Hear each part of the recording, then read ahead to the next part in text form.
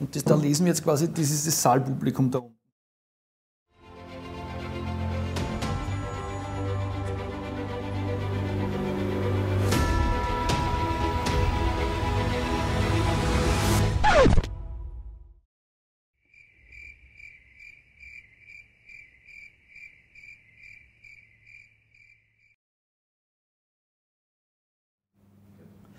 Ja, hallo, herzlich willkommen bei 1000 Best TV. Ich bin hier wieder live aus den Kellergewölben der Motorpresse Stuttgart und neben mir ist der Ralf Schneider. Servus Ralf, grüß dich. Hallo Nils. Grüß dich. Servus. Und heute sprechen wir über die Top 5 Superbikes aus den 90er Jahren.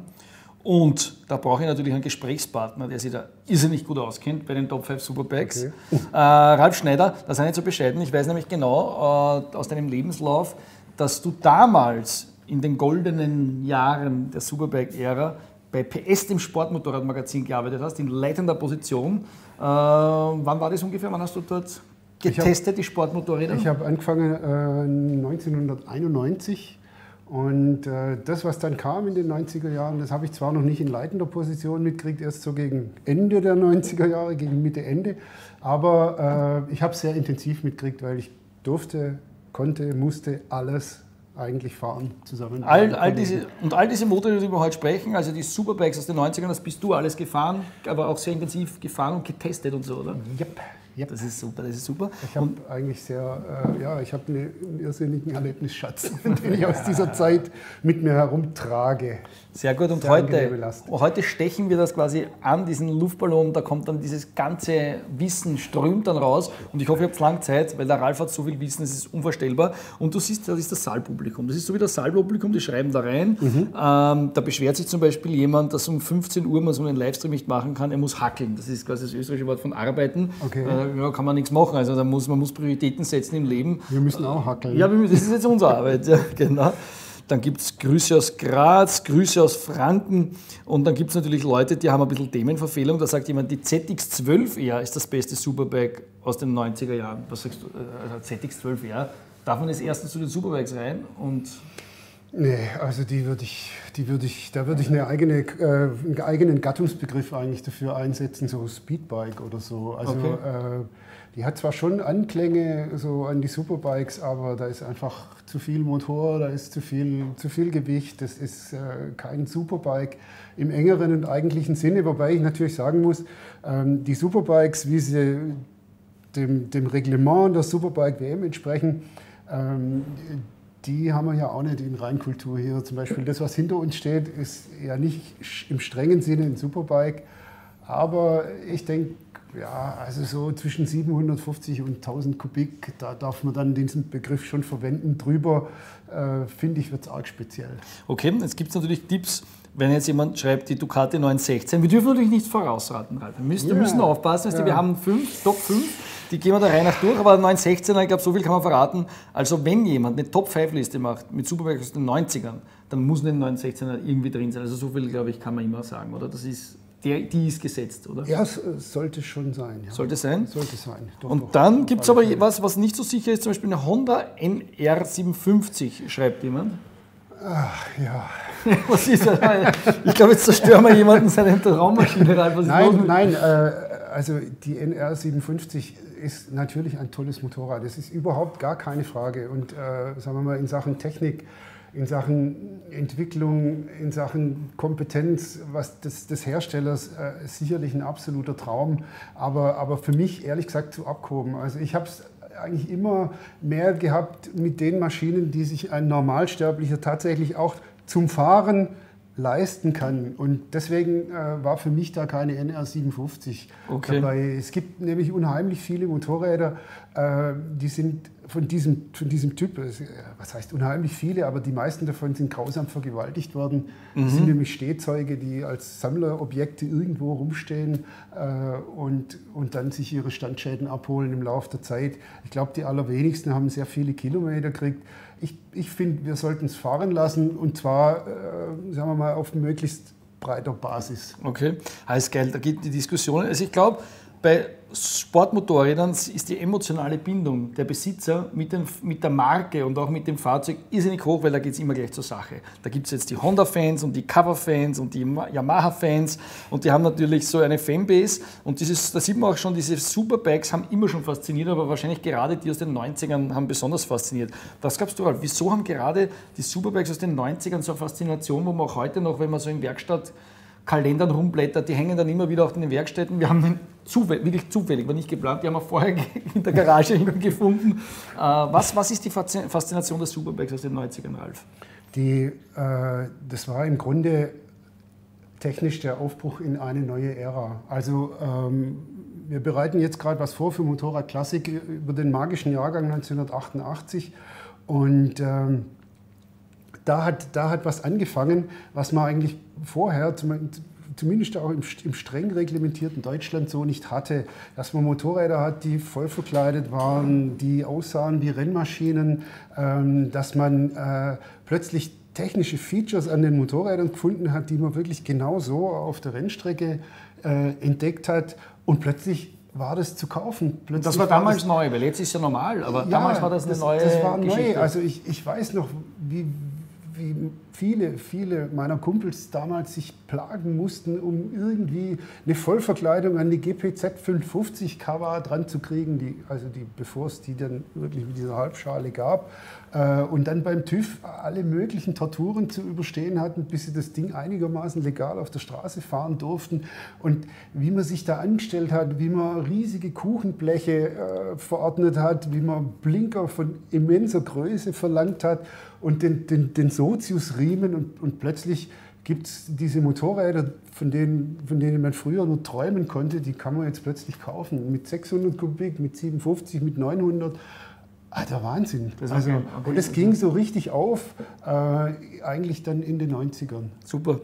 Na gut, aber vielleicht fangen wir dann, fangen wir dann an, Ralf. Genau. Ich habe wirklich gesagt, Ralf, ich möchte deine ja. persönliche Top-5-Liste, weil so wirklich, äh, wie soll ich sagen, eine, eine, eine Instanz, eine offizielle Hitparade, wir könnten jetzt irgendwelche Zulassungsstatistiken ausgraben, aber für mich bist du der Kompetenteste. Du bist jetzt beim Motorrad-Redakteur, du warst damals bei BS-Redakteur, also bist der Kompetenteste, den ich kenne. In dem Thema, Ralf? Ja. Sage ich so. Okay. Deswegen will ich deine persönliche Liste haben. Was ist in den Top 5 Superbikes aus den 90ern für dich Platz 5? Für mich genau das ist das wichtig nochmal betonen hier für mich. Okay. Für mich, also streng subjektiv. Äh, mein Platz 5 ist die Bimota Dieci. Ein, ein absoluter Exot, eigentlich oh. nur nicht ganz so exotisch, nicht ganz so exotisch wie die NR57. Okay. Und auch nur deshalb, weil ich ganz, ganz spezielle Erlebnisse mit okay. dem Motorrad verbunden habe. Sehr positiv, aber auch Ah, so ein Gutteil negative. Äh, die, die, positiven okay. Geschichten, ähm, das, sind, das sind eigentlich zwei Sachen. Wir haben 1991 einen Vergleichstest gemacht, mit diesem, wo, wo dieses Motorrad mit drin war. Und wir waren da auch für Testfahrten an der Nordschleife. Okay. Und ich habe einen äh, Michelin Highsportreifen bekommen vom damaligen Beauftragten von Michelin, dem Herrn Reinhard Sucher, leider mittlerweile verstorben. Echt ein feiner Mensch. Und da hat er mich aber, wie soll ich sagen, im positiven Sinne sowas von über den Löffel balbiert, der Hund, der Alte. Mhm. Äh, ich habe diesen Reifen gekriegt, wir haben ihn auf die Dieci drauf gemacht ähm, und wir sind an der Nordschleife damit rumgefahren und das Ding hatte Grip ohne Ende. Ich weiß noch irgendwann mal, wie ich mit Vorsatz in der Klostertalkurve, bam, in der Scheitel, im Scheitel in der Mitte so Gas gegeben habe und dachte, okay, das gibt jetzt mindestens einen Rutscher oder vielleicht sogar einen Highsider. Nein, es mhm. war einfach nur vorwärts, auswärts mit einer mit einer Gewalt, die ich echt fantastisch fand. Und dann ein paar Monate später durfte ich, äh, oder war es ein Jahr später, ja, es war, war ein Jahr später, durfte ich die Superbikes ähm, von der Pro Superbike Serie fahren ah, und war okay. dann im Kawasaki Transporter und habe neben den Slicks und den Regenreifen eine ganze Latte von Reifen gesehen, die das Originalprofil von einem Michelin TX11, TX23 Highsport hatten. Und ich sage, was ist das denn? Ja, das ist unser Intermediate. Und okay, ich okay. mache jede Wette, der liebe Herr Sucher hat aus seinem Spezialfundus mir so ein Ding da rausgeholt äh, und mir ein paar wirklich sehr schöne Fahrerlebnisse besorgt. das fast noch schönere war dann allerdings auf einem Dunlop-Reifen. Da sind wir nämlich 1992 die 1000 Kilometer Hockenheim gefahren. Das also war, du weißt jetzt noch, welche Reifen ja, damals Ja, ja, nein, das, das war der Hammer. Das der Und die 1000 Kilometer Hockenheim waren damals was anderes, als, als, als sie heute sind. Äh, heute ist es ja im Grunde ein Langstreckenrennen. Okay. Und du darfst die, du darfst die Reifen wechseln äh, und so weiter und so weiter. Damals musste man wirklich eine Dauerprüfung, eine Gleichmäßigkeitsprüfung überstehen über 1000 Kilometer und danach gab es ein Abschlussrennen. Und äh, wenn man jetzt zum Beispiel äh, einen ganz bestimmten Absatz von zehn Runden nicht genau in der Minute mit der Stempelkarte quasi abgestempelt hat, in der es vorgeschrieben war, dann hat ja. man Strafpunkte gekriegt die dann nachher für jeden Punkt eine Sekunde auf deine Rennzeit oben drauf kamen. Und das Schlimme, du musstest das alles mit einem Satz Reifen schaffen. Okay. Und es war vor allem auf dem alten Hockenheimring echt eine Herausforderung. Da gibt es ja hinten diese, gab es ja diese ultraschnelle Ostkurve. Und das hast du mit der Bimotor gemacht? Oder? Und das haben wir mit der Bimotor gemacht. Da hatte ich damals einen Partner namens Dirk Linnebacher, der war viel, viel schneller unterwegs als ich, aber egal. Gute Wahl, so mache ich es auch bei den Rennen, einen schnellen Teampartner. Stelle ich immer die halbe immer zwei dazu. Äh, aber ja, es war, es war okay und wir haben dann vom, vom Reinhard Berrier einen Reifen gekriegt, der wahrscheinlich unter trockenen Bedingungen die 1000 Kilometer nicht überstanden hätte. Unser großes Glück war, deswegen auch dieses Stehbild da von uns fahrend, äh, unser großes Glück war, es hat den ganzen Tag geschüttet. Oder es war zumindest mal kalt und nass. Und da war dieser Reifen einfach sensationell. Und diese Bimotor, was war da eigentlich für ein Motor drinnen? Ähm, das ist äh, YB10 eigentlich und deswegen Dieci, also italienisch Dieci heißt ja 10. Äh, das ist äh, ein, eines der Modelle aus dieser Yamaha Bimota-Reihe, mhm. die es dann in allen möglichen Varianten gab. Also die, äh, zunächst mal gab es ja zum Beispiel eine mit dem OW01-Motor mhm. für die Superbike WM, die YB4. Und dann hat man eben später den Motor, genau dieses Motorrads, das hinter uns steht, oder sagen wir mal des, des Vorgängermodells, nämlich den, den 1000er Vierzylinder von Yamaha verwendet. Und, und hat dann mit dieser Dieci so eine, so eine Maschine praktisch geschaffen, die so zwischen den Klassen stand. Also die hatte das Gewicht einer sehr leichten 750er, ähm, aber sie hatte eben die Leistung einer äh, Tausender. Mhm. Und das war ein, eine brillante Kombination im Grunde. Ja, aber Ralf, wir müssen jetzt aufpassen, wenn wir jetzt diese Maschine ja, genau. empfehlen an die, unsere Zuseherinnen ja. und Zuseher, das ist eine persönliche Empfehlung, da müssen wir, glaube ich, jetzt auch ein bisschen von diesen äh, Klischees aus Italien was berichten. Also ist es mit ja. Vorsicht zu genießen, der Tipp? Oder ist der der breiten ähm, Masse zu empfehlen? Ähm, also was die, was die Mechanik anbelangt, würde ich sagen, ja, uneingeschränkt ja. Äh, es gab bei, bei den Bimotas gibt es so, so ganz spezielle Eigenheiten. Zum Beispiel hatten die äh, wunderbare GFK-Verkleidungen, handlaminierte GFK-Verkleidungen mit sehr edlen Lackierungen. Diese edlen Lackierungen und die Verkleidungen selber aber waren relativ steif und spröde. Äh, und, die, und diese Verkleidungsteile, die waren dann nicht immer so vibrationsgeschützt aufgehängt, wie ah, man sich okay. das wünscht. Äh, okay. Und deswegen sind da auf die Länge äh, Haarrisse entstanden und solche Geschichten. Da muss man ein bisschen schauen. Das kann teuer werden. Es gab auch äh, zum Beispiel Modelle mit damals hochmodernen äh, LCD-Displays, die sind schneller kaputt gegangen, als die Mechaniker sie tauschen konnten. okay. Insofern ist die Dieci da relativ vernünftige Kiste, die hat noch konventionelle Uhren und einen mechanisch antriebenen Tacho und äh, ich weiß gar nicht, ob der dreht. Also, also gar nicht so schlimm, wenn man jetzt denkt, beim Motor, nee. manche hat das, also das durchaus, das ist, durchaus Also man muss auf die Verkleidungsteile aufpassen, okay, man muss denke ich, am Motor so die üblichen Geschichten halt äh, kontrollieren. Aber da das alles äh, ja wunderbar Japan-mechanisch ausgeführt mhm. worden ist, gab es da eigentlich kein Theater. Ähm, okay. Es ist kein schrauberfreundliches Motorrad, das muss man auch noch sagen. Also ich kann mich erinnern, dass ich einen halben Tag brauchte, um äh, die Zündkerzen zu wechseln, wobei die ersten drei haben, glaube ich, eine halbe Stunde gebraucht und der Rest vom halben Tag hat die vierte gebraucht. Äh, da musste ich nämlich eine Zündspule entfernen und die war so hinten an so einem Querträger am Rahmendreieck angeschraubt. Und ich dachte, die hätten da jetzt Einziehmuttern in diesen Rahmen einzogen, wo man also praktisch einfach nur von vorne die Schraube durchdreht, von wegen Banane. Da war hinten eine lose Mutter drauf. Und als ich das Ding los geschraubt hatte von außen, hat es innen plink gemacht und dann lag die Kiste da in der Gegend rum. Und ich habe dann, glaube ich, drei Stunden durch ein ganz kleines Loch am Rahmen da irgendwie diese Mutter von hinten wieder drauf gefummelt. Ich bin echt schier verzweifelt. Gut, also, also alle so Motorkäufer, ja. denkt beim Schrauben an den Ralf, es hat schon mal jemand vor euch gelitten. Und dann vielleicht äh, da kommen natürlich jetzt wieder Tipps rein, was nicht auch unbedingt in die Top 5 Liste rein muss, wenn wir jetzt Platz 5 schon hinter uns ja, haben. Okay. Da sagt zum Beispiel jemand, die TLR 1000R, damals verrissen, heute Kult. Äh, die TL 1000R. Ja, ich meine, oh. erstens, die passt ja nicht ganz ins Zeitfenster, glaube ich, rein, äh, aber auf der anderen Seite. Ja, es ist schon noch 90er. aber damals nee. verrissen, weil du als, als Redakteur damals habt ihr sie auch verrissen hier im Test, ist die von euch auch verrissen worden? Also verrissen ist ein, ist ein, großes Wort, ein starkes Wort und vielleicht auch ein übertriebenes Wort. Ähm, das Problem bei dem, bei dem Motorrad bestand darin, zunächst mal, dass, einfach, dass es einfach nicht so richtig schön ausgesehen hat. Äh, okay. Und das weiß man ja, dass das Publikum da sehr ungnädig sein kann. Ähm, und dann, dann hatte die TL1000, wie übrigens ja, die sowohl die TL1000S als auch die R, die hatten ja äh, so eine merkwürdige Hinterradfederung. Da waren Federung und Dämpfung. Ralf. Ja, aber es sollte halt funktionieren, ah, okay, wenn es innovativ ist. Und, da, okay, und da war, das hat nicht so richtig funktioniert. Und äh, aufgrund eben dieser Trennung von Federung und Dämpfung, das war so ein Flügelraddämpfer, der praktisch die Dämpfungsfunktion übernommen hat, war es eben auch schwierig, mit, mit den damals gebräuchlichen Mitteln da was zu tun, wenn man eine andere Abstimmung haben wollte.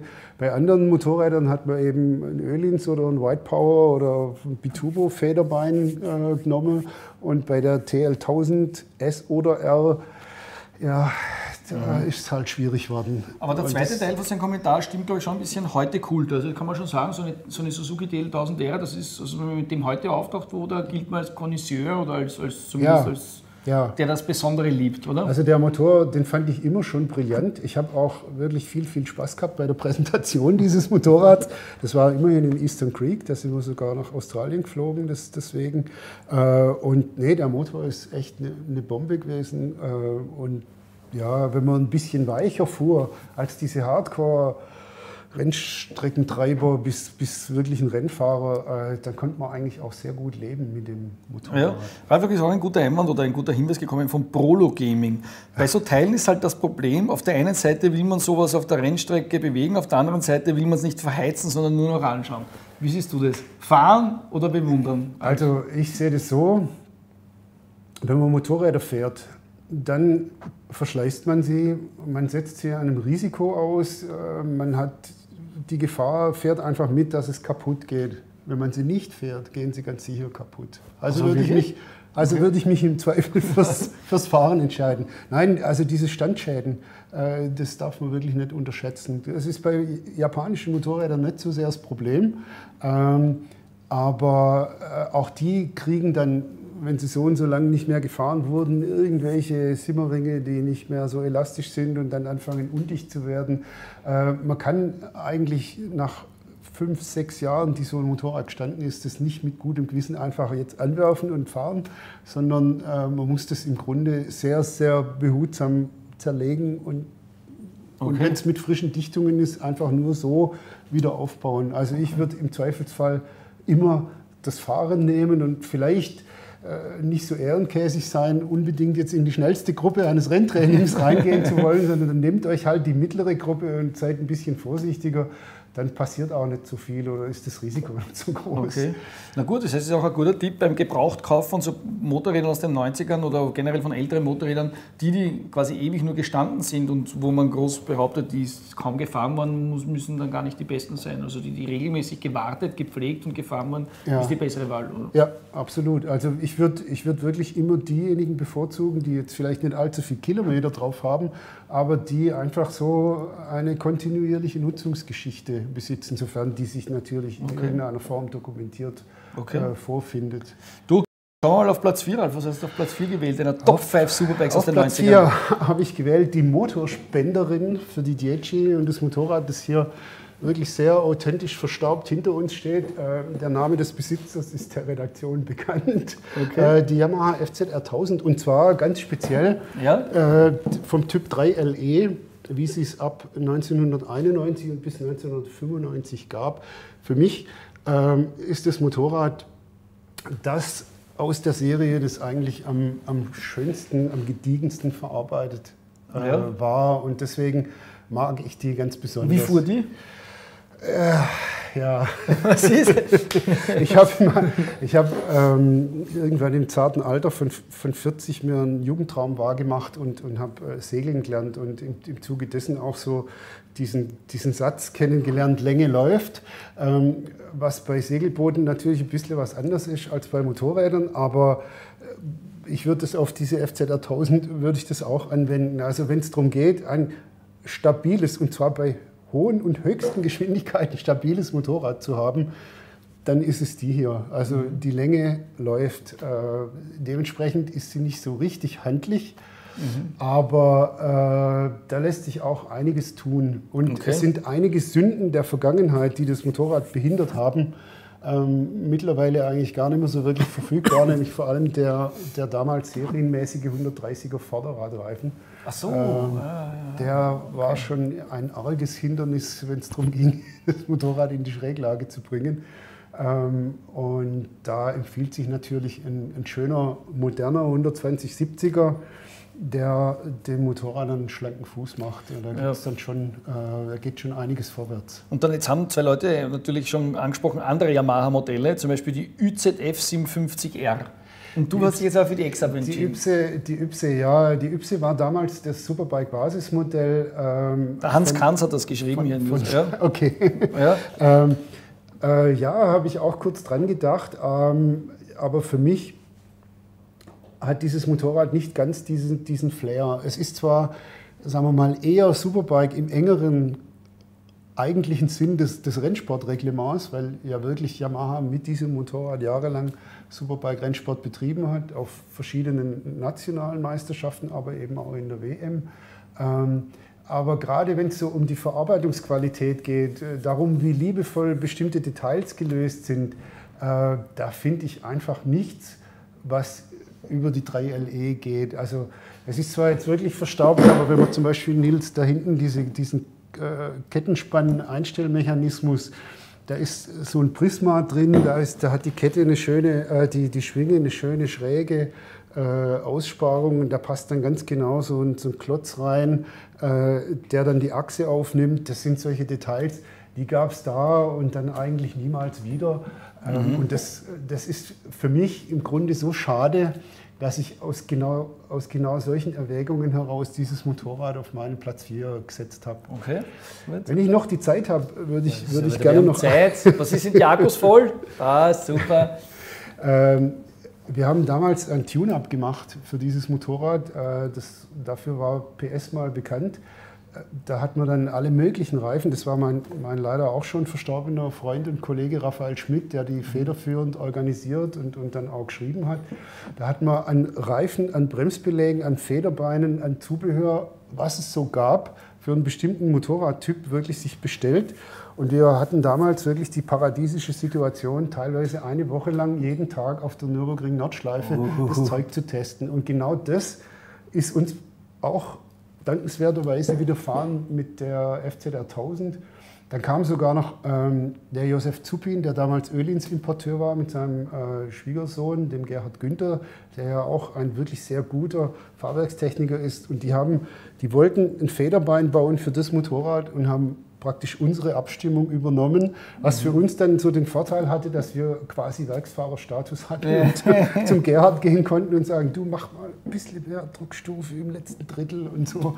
Das war wirklich klasse. Ähm, und am Schluss sind wir dann rausgekommen mit einer Reifenpaarung, mit einem Michelin Highsport äh, in 12070 mit einem Ölins Federbein, mit einem Ölins Gabelkit und äh, irgendwie höher gestellt und dann fuhr das Ding richtig gut. Ich weiß noch, auf einer meiner letzten Runden ist der Herbert Mandelatz damals hinter mir hergefahren. Der war immer so der zweite Mann hinterm Helmut Däne, wenn es darum ging, die, äh, die Rallye äh, DM zu gewinnen, die Zufi DM. Und äh, er hat mich also vor sich hertrieben und er hat mich wirklich bis zum Metzgisfeld, glaube ich, nicht überholt. Und ich habe dann ausgelassen, weil ich so einbogen bin ins Metzgesfeld, dass das Ding aufgesetzt hat und ich dann irgendwie so mit der Dreipunktauflage langsam aber sicher Richtung Kurvenausgang gedriftet bin. Und da habe ich gedacht, okay, äh, fahr du zu, ich lass dich gehen. Aber das, sind, das war also wirklich eine, eine tolle Zeit, sehr mhm. intensiv, äh, eine Beschäftigung mit dem Motorrad. Und jetzt, wenn man das jetzt so kauft, ist das jetzt, ähm, wie soll ich sagen, halbwegs zivil auch wartbar und, und ja. japanischer ja. Standard, sage ich mal, nichts Besonderes. Okay. Also das Einzige, was einem dann halt geschehen kann, äh, sie hat ja unheimlich lange ähm, Intervalle für die, für die Ventilspieleinstellungen, aber wenn es dann halt mal fällig ist, ne, dann hast du halt 20 Ventile und keine 16 ah, okay. wegen 5 ja, Ventilmotor und so. Okay. Da musst du halt ein paar Schims mehr bezahlen. Okay. Ja, was machen wir auf Platz 3, Ralf? Ja, auf Platz 3, äh, da habe ich Ah, natürlich streng subjektiv, die ja. Kawasaki ZXR 57 gesetzt und zwar äh, ganz speziell die Modelle ab 93. Okay, warte, ich schaue, ich deinen finde bei uns in der App. ZXR 57. Die L und die M. Also die dann, die nicht, das ist quasi das, das nächste Modell nachher, oder? Da, das ist die 93er. Ja, die hat ja noch, die, nee, das ist eine Erstzulassung 93, aber es ist ein Vorgängermodell, okay, das was? ist 92 okay. gebaut worden, die hat noch die Staubsaugerschläuche, genau die hier. Die da ist es, ja. okay. Die war zwar auch nicht so äh, furchtbar, äh, wie soll ich sagen, geachtet und beliebt, weil sie schwerer war als der Vorgänger. Okay. Ähm, aber ich fand sie äh, damals und eigentlich auch noch bis heute aus ähnlichen Gründen wirklich sehr, sehr attraktiv und gut, wie ich, wie ich sie auch an der, an der FZR 1000 schätze. Also es ist ein sehr gediegen gemachtes Motorrad. Und es ist, es ist für mich ein Motorrad, bei dem man wirklich merkt, dass es für den Rennsport gebaut wurde. Also nicht, nicht okay. ohne Grund hat ja Kawasaki auf der Basis dieser Kiste, oder war es vielleicht die Vorgängerin, aber an der Grundkonstruktion ja, hat sich ja, eigentlich ja. viel geändert gehabt, die Superbike WM gewonnen, also mit, mit Scott Russell. Und äh, das war auch wieder so, so eine Nordschleifengeschichte. äh, das, das Tolle an dieser Strecke eigentlich damals wie heute ist halt, wenn du irgendwelche Motorräder hast, die du ganz nett findest und du bringst die dahin, dann braucht es zwei, drei Runden und dann entblättern die Dinger sich komplett. Oder sie zeigen, jawohl, ich kann es, dafür bin ich gemacht Also die Nordschleife spricht immer die Wahrheit. Die, da, genau, die entlauft wirklich jedes Motorrad, die entlauft auch jede Schwäche. Und du kannst die ganz netten Motorräder, die stehen dann wirklich äh, nach drei Runden da und leisten den Offenbarungseid und sagen, ich kann nicht mehr. äh, und da gehört die ZXR ganz entschieden nicht dazu. Und wieso ist das so? Weil es einfach, einfach, gut ist. Weil es einfach ein, ein solides fahrstabiles Motorrad war, das auch eine, eine ganz, ganz, also der, ehemalige Kollege Mini Koch würde sagen, die liegt wie, wie nordnagelt auf der Straße. Also sie hat eine, eine, wirklich eine ganz sichere Straßenlage, ganz tolle Rückmeldungen auch vom, vom Vorderrad. Das ist nicht das handlichste Motorrad, aber wenn du mit dem Ding einbiegst äh, in die Kurve, dann weißt du ganz genau, was die Stunde geschlagen hat an der Kontaktfläche zwischen okay. Reifen und Straße. Und das ist unheimlich gut. Es gibt dir ein sicheres Gefühl und es gibt dir eben auch die Möglichkeit, das Potenzial dieses Motorrads viel, viel also auch als Laie viel, viel besser auszunutzen als bei, jedem, bei, bei einer Maschine, die so ein bisschen schwammig wird oder einfach nicht so klare Rückmeldung bringt. Mhm. Und wenn du das jetzt vergleichst, jetzt sagen wir, es gibt ja Nostalgiker, die sagen, früher war alles besser, jetzt geht's, die rätst du da wirklich in Schwärmen bei der ZX 57 bei der, bei der Kawasaki. Wenn man das jetzt vergleicht mit aktuellen Motorrädern, ist da aktuell alles besser oder, oder was sagst, ist irgendwas früher war in den 90ern irgendwas besser als jetzt? Irgendwas, was, was früher schöner, toller war? Ja, also vielleicht nicht im fahrdynamischen Sinne oder im, im, im, im Sinne von, äh, wie funktioniert es, wie federt es, wie bremst es, wie beschleunigt es. Mhm. Ähm, das, das denke ich, nee, da war früher nicht alles besser. Ähm, aber wenn mir so ein kleines bisschen Nostalgie jetzt erlaubt sein möge an dieser Stelle, ähm, es gibt relativ viele Motorräder, die damals sehr, sehr, mit sehr, sehr viel Liebe und Sorgfalt gemacht wurden. Und heute ähm, sind die Motorräder zwar funktional deutlich besser, aber man merkt eben auch, dass hinter jedem Update, hinter jedem Modellwechsel, hinter jeder neuen Generation eben auch dieses, dieser Kostendruck äh, ah, bei der Entwicklung okay. eine Rolle gespielt hat, äh, irgendwie im Hintergrund. Und dann gibt es schöne Oberflächen. Ähm, es gibt, aber, aber es sind dann halt zum Beispiel sind es Gussteile mhm. ähm, und, und eben nicht irgendwelche Alubleche, die dann in der Presse oder, oder ja, tiefgezogene Bleche, die dann verschweißt wurden, sondern man, man macht dann halt eine, eine Gussform für, so, für solche Rahmenteile äh, und kann die dann quasi wie das Brezelbacken äh, vor sich hin produzieren. Ist alles schön und gut, ähm, aber ja. Diese Finesse, okay. Genau. Also die, und, und dieses, diese, liebevolle, diese liebevolle Verarbeitung. Ich habe das ja schon mehrfach jetzt anklingen lassen, ein Beispiel von der FZR, aber auch von der, von der ZXR 57. Das das äh, ist im Allgemeinen so ein bisschen auf dem Rückzug. Okay. Na hör kurz, wir sind auch gut in der Zeit, 30 Minuten. Wir haben jetzt noch zwei Motorräder, oder? Ralf, wir überziehen gar nicht, nicht wie wir wetten das. Oh Gott, sag bloß, ihr habt zu wenig gelabert. Nein, nein, das, das, können wir alles noch aufholen, aber ist kein Problem. Ja. Na, machen wir Platz 2, der Top 5 Superbikes aus den 90ern. Was ist dein Platz 2, Ralf? Mein Platz 2 ist die Honda Fireblade, die SC28. Oh, da haben schon einige geschrieben. Die gehört da natürlich, natürlich die rein, ja. Keine Frage, keine Frage. Äh, und zwar auch deshalb, weil damit äh, so ein Stück weit eine neue Ära begonnen hat. Mhm. Ähm, die, wenn man, wenn man sich mal wirklich anguckt, so die, die, die, die Eckdaten von den, von den Motorrädern, die ich vielleicht schon genannt habe, aber die so ein bisschen älteren Ursprungs sind, äh, dann sieht man an den Gewichten, die ja relativ schwer waren, dass da ja, äh, dass man da vielleicht dann teilweise vielleicht aus Sicherheitsbedürfnissen oder um es einfacher zu halten, auch verdammt. Ist deins, oder? Ja, ich habe den, hab den Flugmodus Na, vergessen. Du, wenn es die Mutti ist, heb schnell ab, nicht das Probleme kriegst, Ralf, gell? Nein. Oder ist der Chef? Willst du es nicht im Büro um bist, Ralf? Jetzt ist hier Sense. Lass mich gerade nicht stören. Ähm, Fire, Fireblade war mal auf Platz genau. 2 der Top 5 ähm, Superbikes. Und, und wenn man dann so äh, dran war, diese Motorräder irgendwie so ein bisschen zu tunen oder ein bisschen mhm. aufpimpen zu wollen, dann kamen dann immer irgendwelche exotischen Materialien ins Spiel. Dann fing man an, mit Aluschrauben zu, äh, rumzumachen oder mit äh, den ersten Carbonschnittchen, die man da gesetzt hat. Äh, vielleicht hat sich ja ein ganz besonders kühner auch mal eine Titanschraube hier und da geleistet. Und äh, die Fireblade hat einfach ein Gewicht von vollgetankt 208 Kilo hinkriegt, ohne diese ganzen Exoten. Und das war damals Teile. heftig, oder wie? Und das war damals heftig. Also selbst die Bimota, die ja wirklich äh, im damaligen Feld wunderschön leicht war, hat so 218, glaube ich, 218 okay. Kilo auf die Waage gebracht als Monoposto, als Biposto kam sie, kam sie ein Jahr später, da war es dann noch ein Ticken mehr, weil sie ein dickeres Rahmenheck brauchte. Und, und die Fireblade, die hat einfach aufgrund einer klugen Konstruktion, einer wirklich sehr, sehr rationellen Konstruktion dieses geringe Gewicht hinkriegt. Und das fanden wir damals sensationell und das war es eigentlich auch. Und hat die damals in den Testbereich bei Motorrad und PS immer gut abgeschnitten? Die, die, die, die, hat schon gut abgeschnitten, wobei, wobei man sagen muss, so ein Stück weit ein Biest war die SC28 schon. Also die war die war verhältnismäßig kurz vom Radstand her, ähm, vom Rahmen her aus sehr steif, äh, bis fast, ich würde es ja, Sprödigkeit nennen.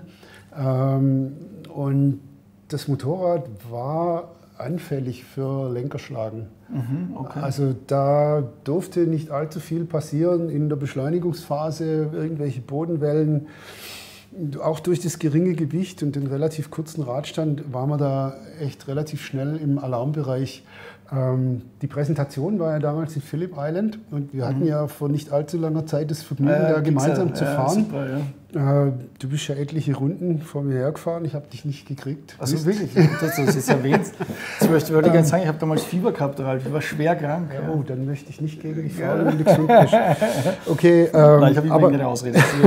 aber äh, vielleicht erinnerst du dich, da gab es doch diese enge Linkskehre äh, namens Siberia und dann ging es diese Essis. Ja, ja, ja, äh, wo man also praktisch dann ständig hochbeschleunigt und das Motorrad dauernd eigentlich von einer Schräglage in die andere schneller, wirft. Schneller, und ähm, damals hatten die Abstimmung für diese SC28-Präsentation die Herren äh, Wayne Gardner und Mick Doohan gemacht. Die sind natürlich dann auf Das waren die Guides oder wie? Quasi? Nee, das waren nicht die Guides, aber das waren die, die das Fahrwerk abgestimmt ah, haben für diese okay. Strecke. Und äh, man hat die Originalreifen benutzt, das waren Bridgestone BT50, kein Rennstreckenreifen, ein sehr gefälliger, auch gut grippender Alltagsreifen, aber auf der Rennstrecke. Hm. Mhm. Und dann sind die natürlich rumgedriftet wie die Bescheuerten mit dem Zeug und haben deswegen hinten die Zugstufe, also die Ausfederdämpfung maximal zukauen. Mhm. Das heißt zum Beispiel, dass wenn man in diesen Assis dann beschleunigt hat und das Motorrad sowieso hinten drin stand, ne, dann gab es da ein paar Bodenwellen, bam, bam, bam, und dann war die hinten tief und durch diese Zugstufe, die komplett zu war, stand die hinten drin, wurde vorne leicht und dann kamen noch ein paar andere Bodenwellen dazu und dann fing das Ding an, mit dem Lenker zu keilen. Und das sind, also das sind so diese kleinen Biestigkeiten, die die ST28 ähm, ihren, Fahrer, ihren Fahrern so gelegentlich geliefert okay. hat. Ähm, sie hat auch jetzt, sagen wir mal, im Amateurrennsport, äh, gerade bei so Zufis-Sachen oder so, nicht so richtig den durchschlagenden Erfolg gehabt, obwohl mhm. sie sehr, schon sehr sportlich war, sehr schön leicht. Aber der Baba, Tadao Baba, der dieses Motorrad ja federführend entwickelt hat, der wollte halt wirklich äh, ja, so, eine, so eine Art Allround-Sportler, so eine Art Zehnkämpfer. Also okay. gar nicht. Gar keine so, Rennmaschine? Ja, nicht so zugespitzt auf die Rennstrecke, wie sie zum Beispiel eine ZXR 57 war. Ähm, und, und deswegen ja, hängt die so ein bisschen zwischen Baum und Borke. Aber als, einfach so als, als Statement, wir machen jetzt mal ein in CAD, also in Computer Aided Design. Und wir konstruieren nicht den Halter und den Halter vom Halter und den Halter vom Halter vom Halter, um jetzt irgendwie eine Elektronikbox unterzubringen, sondern wir überlegen uns von vorne herein, wie wir das in irgendein Kunststoffteil integrieren oder, oder so ne, und sparen dadurch Teile und Schrauben und Gewicht und alles Mögliche. Das hat einfach in dieser Konsequenz eigentlich zum ersten Mal die Fireblade hinkriegt. Okay. Also wenn da jetzt Honda äh, immer wieder sich diesen Nimbus äh, quasi auf die Fahnen heftet, dass sie da eine neue Ära eingeleitet haben damals, und, dann, dann ist das berechtigt, dass das passt. Die haben da, äh also ich würde da nicht widersprechen. Okay. Ich würde heftig zustimmen. Ja. Okay. Ähm, der Michael Pfeiffer, also der Chefredakteur von Motorrad, der war damals Testchef von PS und der hat einen äh, Gewichtsvergleich gemacht. Und da hat er dann zum Beispiel irgendwelche Heckteile von der Fireblade und von einer damaligen Suzuki GSX R 57W, die erste Wasserkühlte, die dann kam, hat er demontiert. Mhm. Also es war dann irgendwie Hinterradkotflügel, Kennzeichenträger, Rücklicht, Heckbürzel, irgendwie so. Und er hatte das, glaube ich, mit acht oder neun Schrauben war das ganze Zeug befestigt bei der Fireblade und bei der Suzuki hat er halt ungezählt 35 in der Hand gehabt. Mhm. Und äh, das, also dieses Beispiel, finde ich, erklärt sehr schön, worin der Unterschied bestand zwischen den Motorrädern, die zwar up-to-date waren, aber sagen wir mal eher aus einer etwas mhm. vergangenen ja, ja. Epoche stammten und diesem radikalen Neuansatz, wo man gesagt hat, okay, ähm, wir, wir bauen jetzt ein Motorrad erstmal im Computer, bevor wir überhaupt das erste, den ersten Prototypen auf die Räder stellen. Okay. Da gibt es jetzt schwere Diskussionen, manche sind ein bisschen abgeschweift. Zum Beispiel fragen sich einige der Zuseher, wieso es nicht drei Zylinder damals gegeben hat oder auch jetzt noch in, in geringen Zahlen in diesem Superbike-Umfeld. Ich weiß nicht, damals gab es gar nichts. Triumph hat dann irgendwann begonnen, äh, aber so richtig den durchschlagenden Erfolg hatten sie nie, oder? Nein, hatten sie nicht. Ähm, naja, äh, also man muss ja auch sehen, dass äh, zum Beispiel auch die, die Erfolge von Ducati mit den Zweizylindern ähm, auf deren äh, oder mit deren Vorbild ja dann zum Beispiel äh, auch die Suzuki TL1000 Modelle entstanden, von denen vorher schon die Rede war, oder die Yamaha, äh, Quatsch, die Honda VTR 1000 SP 1 und 2. Ähm, diese Zweizylinder die verdanken ja einen Großteil ihrer Erfolge in der Superbike-WM ja auch einer Bevorzugung durch das Reglement. Okay. Also die durften ja mehr Hubraum uh, haben, das, das ist ganz klar. sicherlich einige Fans schwer. Ja, es ist aber, aber sie, durften, sie durften zum Beispiel auch leichter sein. Man hat, man hat diese Vorteile im Laufe der Jahre so peu à peu zurückgenommen. Mhm. Ähm, aber wenn man sich jetzt mal die, die Beginn, den, den, die Anfänge der Superbike-WM in den späten 80er Jahren anguckt, da hat es ja wirklich echt nach der RC30-Ära lange, lange gedauert, bis man wieder einen Vierzylinder gewonnen hat. Mhm. Ähm, und das war, das war einfach auch so ein Stück weit der Tatsache geschuldet, dass man diesen Leistungsnachteil, den, den ein Zweizylinder naturgemäß mit sich bringt, dass man dann vielleicht da zum Teil ein bisschen überkompensiert hat. Okay. Vom Reglement her. Na gut, du, da gibt es jetzt äh, Leute, die mein Hemd unbedingt kaufen wollen, das ist mal super. Und dann gibt es VTR-Fans, Laverda-Fans.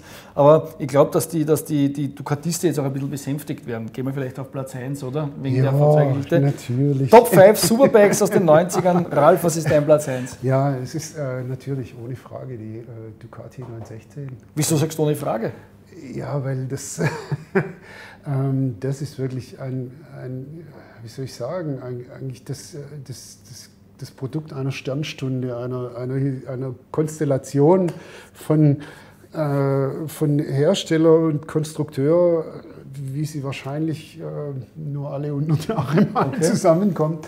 Ähm, nein, der wie hast du die damals erstmals erlebt, die 916, wie, wie, wie hast du denn das Erscheinen der Ducati 916 auf diesem Planeten äh, mitbekommen? Das ist ein, ein, ein leidvoller, es war eine leidvolle Zeit für mich. Wieso? Weil ich bei einem unserer Tune-Ups ähm, auf dem Circuit Paul Ricard äh, so runtergeflogen bin, oh. dass ich mir links ein, ein, ein Tossi 3 zuzogen habe und rechts das Handgelenk gebrochen gleichzeitig. Und du durftest nicht fahren, der Kollege und ist geflogen. Ich lag im Krankenhaus, als oh. das Motorrad präsentiert wurde und äh, von daher, äh, Mist, das, das war, war nicht so toll. Nein, ich habe ich hab auch erst eigentlich im Laufe der Jahre mitbekommen, was, was für eine glückhafte Verbindung das war äh, zwischen halt dem guten alten Herrn Castiglioni, dem Claudio und dem Herrn Tamburini, beide mittlerweile verblichen. Ähm, der Castiglioni, der ja echt ein angefressener Motorradfan war und der eigentlich immer das beste Motorrad der Welt bauen wollte. Und, und der Tamburini, der, äh, ich glaube, das ist der das ist der preußischste Italiener, den es überhaupt gab auf der Welt. Ich habe den ähm, kurz vor der Präsentation seiner nächsten Schöpfung, dieser MV F4, ähm, persönlich kennengelernt. Da durfte ich dann ähm, die besuchen im, im Entwicklungszentrum in San Marino. Und da waren so, da waren so Sachen, da, so Äußerungen von ihm, äh, so Beispiele. Da habe ich dann erst gemerkt, wie der Typ überhaupt tickt. Und das war ein absolut fanatischer Qualitäts- und, und Fahrdynamik-Fan. Äh, und dem konnte der nachgeben, nachgehen, äh, quasi unter erheblichen Kosten, die Castiglioni für ihn bereitgestellt hat oder für ihn getragen hat. Und, und daraus kann eigentlich dann nur was okay. rauskommen. Also ein kongeniales Duo oder ja. eine zufällige. Ja. Ja, der, eine, der eine wollte unbedingt das beste Motorrad bauen und sei, und, und sei es auch zu seinem finanziellen Ruin. Na gut, er hat dann schon auch immer genügend Geld beiseite geschaffen. Aber, ähm, und der, und der andere, der wollte der wollte äh, das liefern. Ne? Okay. Und wenn man jetzt eine Ducati 916 ist natürlich das Kultbike schlechthin, extrem hoch im Kurs in den, in den Marktplätzen. Bei uns äh, immer wieder ja, fragt man sich, wer, wer, zahlt den Preis für ein altes Motorrad? Wenn du es jetzt vergleichst mit aktuellen Motorrädern, wie, wie sortiert sich das ein? Was waren so die Stärken und Schwächen dieser Maschine fahrdynamisch und von den Komponenten her? Also ich habe, ähm, ich bin überzeugt davon, dass die Fahrwerkstechnik der 916 auch heute noch äh, auf einem sehr, sehr hohen Stand wirklich? wäre okay. im Vergleich. Das große Problem, das ich sehe, ist wirklich das Leistungsniveau. Äh, und es geht mittlerweile im Grunde bis zu den letzten Tesla Stretta-Motoren, die knapp 140 PS hatten. Ähm, man merkt es dann bei den Renntrainings, also die heutige 600er, die gehen wirklich so gut, dass eine 916 Strada von 1994 mit äh, zwischen 107 und 112 PS, was man so hat, mhm, mhm, die haben da wirklich keine Sonne mehr. Und äh, dann ergibt sich so, eine, so, ein, so ein extrem, äh, wie soll ich sagen, unterschiedlicher Rhythmus. Ähm, ich verstehe. Äh die, die, die 916er sind in den Kurven, denke ich, immer noch furchtbar schnell. Aber wenn es dann auf die Gerade rausgeht, dann wird es also selbst gegen eine 600er schwierig und von den Tausendern, den modernen, will ich gar nicht reden. Wir haben übrigens äh, damals mal äh, einen Vergleichstest gemacht mit lauter Supersportlern, ähm, die wir alle auf die gleichen Reifen gestellt haben. Ja. Und wir haben Kurvengeschwindigkeiten gemessen in Hockenheim in einer ganz bestimmten Kurve mit einer Lichtschranke. Also Data Recording war horrend teuer damals. und wir haben festgestellt, dass die 916 im Durchschnitt von, ich glaube, zwölf Runden, zwei Fahrer sind jeweils sechs Runden gefahren, im Durchschnitt von zwölf Runden eine höhere Kurvengeschwindigkeit hatten im Scheitel als die anderen Motorräder in der Spitze. Okay. Also man, man bog da mit einer Suzuki GSX-R 750, dieser ersten SRAD, der ersten SRAD, bog man dann irgendwie, glaube ich, mit so zwischen 97 und 100 km/h da rum und mit der 916 einfach mal stabil 105, 106, 107, okay. 110, je nachdem. Äh, also das war irgendwie die große Kunst dieses Motorrads, dass es einfach ins in die Kurve rein äh, und durch die Kurve durch einen wahnsinnigen mhm. Speed halten konnte. Da finde ich jetzt ein lustiges Feedback. Da schreibt zum Beispiel der Alex, it's me Alex, der schreibt, Mann oh Mann, die 916er war dem kaufbaren Rest aber sowas vom Unterlegen. Eine Zeile drunter, der Daniel, die war ihrer Zeit voraus. was ist die Wahrheit, Was ist die Wahrheit? ähm, also die Wahrheit, puh, die Wahrheit ist schwierig. Da muss man wirklich differenzieren. Ähm, der Tamburini mochte den Motor nicht. Mhm. Äh, der Motor stammt ja aus der 851 ursprünglich und der war, es war ein unheimlich schwerer Motor, vor allem die ersten Varianten. Die waren zwar wunderschön gemacht, die hatten zum Beispiel wälzgelagerte Nockenwellen mhm. oben drin, aber äh, da war sehr, sehr viel Gewicht in Gegenden unterwegs, wo es vielleicht nicht so richtig gut hingehört, äh, nämlich weit oben, weit vorne, einfach weit weg vom Schwerpunkt, sage ich mal. Und äh, es war dann auch so ein bisschen ein Platzproblem. Und da da hat man einfach dann relativ rasch gemerkt, dass der Motor an das Ende seiner, seines Potenzials kam. Der war einfach von, der, von, mhm. von den, von den okay. Grundvoraussetzungen her äh, nicht, mehr, nicht mehr höher zu kriegen. Und dann hat man auch schön gesehen in, in der, in der Superbike-WM, Ducati hat, äh, bevor sie dann 1998 mit den 996er kamen, ähm, haben die auf der 916 Basis Motoren gefahren, da waren die Zylinderlaufbuchsen im Bereich der Stehbolzen nur noch ein Millimeter dick. Ähm, und dann mussten die ein neues Gehäuse konstruieren, wo die Stehbolzenabstände weiter auseinander waren, um einfach diese größere Bohrung mhm. da unterzukriegen. Und dafür hatte Ducati dann kein Geld. Es ist ja auch so, dass äh, 1997 war das letzte Jahr, in dem Castiglioni Ducati besessen ja, hat. Danach ja. ging es an TPG. Und der 1997er Jahrgang zum Beispiel, das ist, ich hatte leider so eine, das ist so ein Punkt, wo man echt merkt, dass die Dinger anstehen. Da haben auch die Zulieferer dann nur noch die B- und die C-Ware geliefert. Oh, okay. Also ich würde zum Beispiel äh, auf alle Fälle die Bremszangen tauschen, wenn ich eine 97er 916 kaufen würde. Ich habe da leidvolle Erfahrungen gemacht, die mich wirklich schier ein Auge gekostet hätten. Ähm, und weil einfach, ja, oder zum Beispiel dieser, dieser Lichtmaschinenregler, der wurde dann durch einen Nippon-Denso-Regler ersetzt, aber das ist halt alles erst so im Laufe der Zeit passiert. Und so einen richtigen Innovationsschub hat die Baureihe dann eigentlich erst ab 1998 gekriegt, wo dann TPG wieder investieren konnte und, und okay. die Zulieferer dann auch wieder bei Laune halten konnten durch beispielsweise so Nettigkeiten wie pünktliches Bezahlen von Rechnungen. und, und vor allem, wenn du jetzt sagst, es gibt es, ja diese, es ist das 916er irrsinnig hoch im Kurs, ähm, was meinst du? Soll man sie behalten? Ist das, ist, wird die Mehrwert oder soll man gar jetzt noch eine kaufen? Oder, oder was meinst du? Einfach jetzt pragmatisch vom, vom Kosten-Nutzen, geldmonetären Betrachtungspunkt her. Mhm. Also ich denke nicht, dass man jetzt auf einem sehr hohen Niveau einsteigen sollte und so, und so ein Motorrad kaufen. Mhm. Ähm, ich denke, wenn man mal anguckt, wer, wer solche Motorräder kauft, ähm, das sind ja meistens Leute, die sie vielleicht in ihrer Blütezeit sich nicht leisten konnten. Okay. Also es sind ältere äh, und die leben auch nicht ewig. Also ich, weiß, ich denke nicht, möglicherweise steigen die Preise noch ein paar Jahre lang, aber es wird irgendwann mal so sein, okay. ähm, dass ähm, mehr und mehr Erben dastehen und sich überlegen, was mache ich denn jetzt mit dem okay. Motorrad. Also es wird noch mal eine Chance geben, deiner Ansicht nach 916er abzugreifen am Gebrauchtmarkt. Ja, na, für unter 9000. Aber ja, man kann es natürlich immer beobachten und, und es gibt sicherlich auch die Möglichkeit, äh, da mal ein relativ günstiges Fahrzeug zu kriegen äh, und dann zuschlagen. Wobei, wenn es denn unbedingt eine sein muss, würde ich eigentlich eher lieber ein bisschen mehr Geld ausgeben und dafür was nehmen, was wirklich im Zustand optimal dasteht. Okay. Weil die Zuverlässigkeit, vor allem des Motors, äh, nicht ganz dem japanischen Standard entspricht. Also da habe ich auch meine eigenen leidvollen Erfahrungen gemacht. Ich, okay. die, die, Narben sind mittlerweile äh, fast verschwunden, die ich an den Fingern hatte, aber ich habe wirklich also viele, viele Stunden an diesem, an diesem Motor geschraubt weil dann halt zum Beispiel Kopf- und Fußdichtungen nach knapp 20.000 Kilometern angefangen haben, dann äh, inkontinent zu werden. Und dann gab es einen anderen Dichtungssatz und dann hat sie nicht mehr so viel Leistung gehabt. Und, oh, es, es war echt, okay. also nicht so. Ein bisschen diva, oder? Das, ja. das, kann man, das hat man immer wieder mal gelesen. Dass ja. sie, okay. Du, jetzt hat dann jemand gerade gepostet: Hallo zusammen, bin spät, habe ich was verpasst? Ja, jetzt machen wir alles noch einmal halb, oder?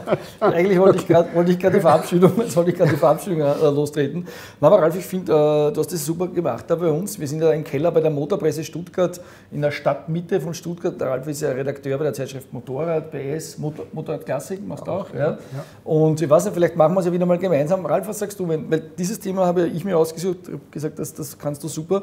Was wäre deine Top-5-Sendung? Die nächste Top-5-Sendung, wenn ich wieder mal nach Stuttgart komme, was machen wir? Was glaubst du wieder gute Top 5 Sendung? Die Superbikes der Nuller. äh, puh, äh, also ich konnte jetzt relativ spontan auf deine Anfrage nach den Superbikes der 90er reagieren. Ja? Für, die nächste, für die nächste Geschichte vielleicht, vielleicht. Hattest du auch so eine wilde Zeit mit den 125ern? Mit den, ja, ja? Ich, äh, mit Zweitaktern. Ach so? Zweitakter wären, Zweitakter wären eine schöne Sache. Okay. War, war, wie wäre der Titel? Die Top 5 Zweitakter aller Zeiten oder, oder irgendwie ein bisschen eingeschränkt? Äh, nee, aller Zeiten ist ein bisschen schwierig, weil die Zweitakter der ganz frühen Jahre also waren ziemlich okay. fiese Gurken.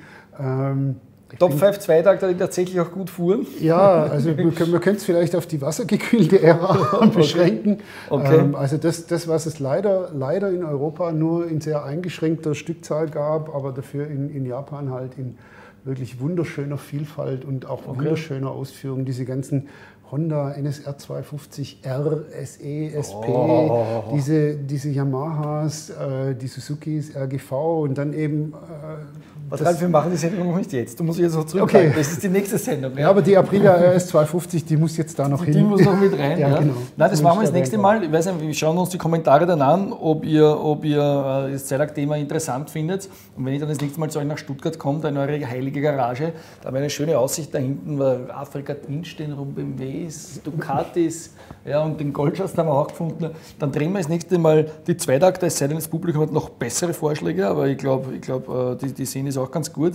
Vielen Dank für den, fürs, fürs fleißige Mitmachen. Und wenn man deine Kompetenz erleben will, ich glaube, das macht man im Moment am besten die, bei den, den Zeitschriften von euch, Motorrad, PS, Motorrad Klassik, das ist jetzt das Revier, wo du zu finden bist und deine, deine, ja, dein, dein Output, oder? Ich gebe mir Mühe. Ja. Gibst dir Mühe. Ja. Na gut, na dann bis bald. Danke fürs Danke. Zuschauen. Tschüss, Danke Ralf Weltklasse. Ciao. Freut mich sehr.